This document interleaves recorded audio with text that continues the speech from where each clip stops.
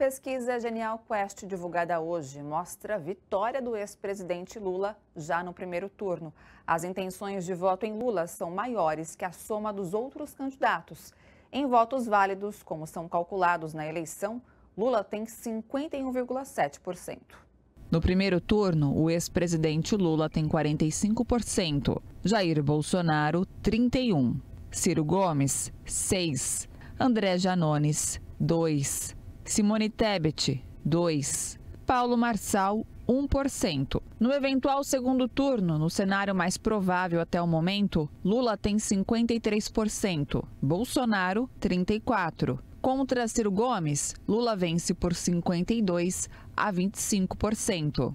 Quanto à rejeição, Bolsonaro segue na frente. 59% não votariam nele de jeito nenhum. Ciro Gomes tem 55. Já o ex-presidente Lula é 18 pontos percentuais mais aceito quando comparado a Jair Bolsonaro. Além dos dados que acabamos de exibir, três outros pontos chamam a atenção na pesquisa: o subsídio aos caminhoneiros, as mexidas na Petrobras e o assédio sexual denunciado na Caixa Econômica temas polêmicos que podem ter acendido um alerta na população, sobretudo a manipulação eleitoreira dos subsídios e o constante desrespeito do governo com as mulheres. Esses apontamentos podem influenciar o voto, principalmente o das mulheres. O levantamento fez 2 mil entrevistas presenciais entre os dias 29 de junho e 2 de julho.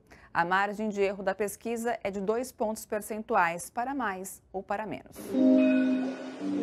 Thank you.